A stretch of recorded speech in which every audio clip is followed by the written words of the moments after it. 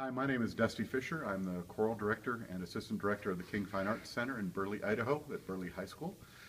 Uh, this is the pleasure we've had a second time of having uh, G2 come with Music Make Mu- Makes Music, and we've really enjoyed their company and their presence with us. A great group of young men um, in an age when role models are falling left and right. These guys come in and really have a very powerful message for kids that enjoy music, which are all kids.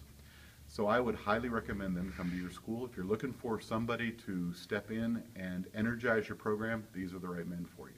And Music Makes Music is an amazing foundation. They come with my highest recommendation.